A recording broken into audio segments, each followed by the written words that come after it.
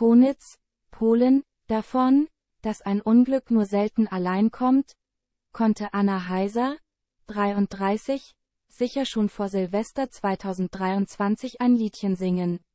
Dennoch musste sie ausgerechnet zum Jahreswechsel erneut diese Erfahrung mit ihrer Familie, durchmachen. Zwar meldete sich die ehemalige Bauersucht-Frau Teilnehmerin an Neujahr mit einem launigen Instagram-Posting aus dem polnischen Konitz.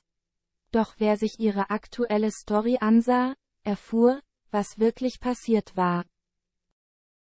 So berichtete die Frau von Farmer Gerald, 38, am 31. Dezember, unser Silvester bleibt ruhig, da Alina Bronchitis hat. Wir waren heute Nacht im Krankenhaus mit der kleinen Maus und hoffen, dass die Medikamente schnell anfangen zu wirken. Alina, die im Dezember ein Jahr alt geworden ist, sollte allerdings nur der Auftakt sein. Denn mitten in der Silvesternacht hat auch Annas Sohn Leon, zwei, gesundheitliche Probleme bekommen.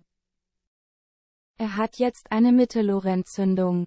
Deswegen waren wir heute Morgen wieder im Krankenhaus. Jetzt hat er auch ein Antibiotikum und wir hoffen, dass die Krankheitswelle jetzt zu Ende geht, so die Influencerin. Andernfalls dürften die Reisepläne der Heisers, die an Neujahr eigentlich von Polen nach Leipzig fahren wollen, sich wohl erledigen.